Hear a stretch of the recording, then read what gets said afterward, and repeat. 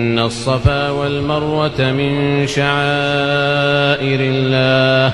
فمن حج البيت أو اعتمر فلا جناح عليه أن يطوف بهما ومن تطوع خيرا فإن الله شاكر عليم